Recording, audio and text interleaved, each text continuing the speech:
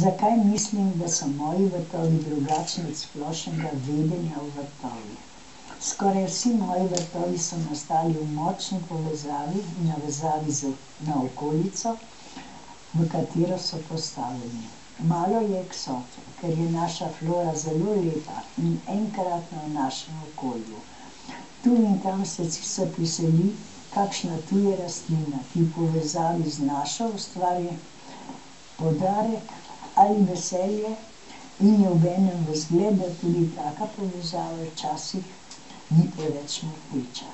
Vsaka naša pokrajina ima svoje posebnosti in te poskušam vključiti v vrtove, ki v tej pokrajini nastajajo. Tudi sedaj jih urejam in razširjam mnogo novih vrtov, da in ti, da bodo veliko veselje in srečo lastnikov.